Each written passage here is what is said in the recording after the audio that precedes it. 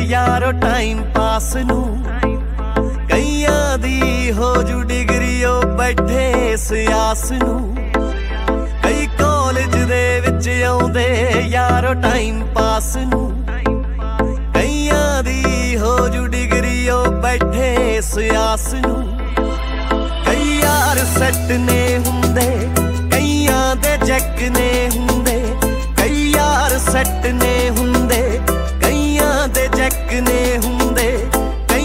तो पर्ची फड़ी गई ते गल बिगड़ी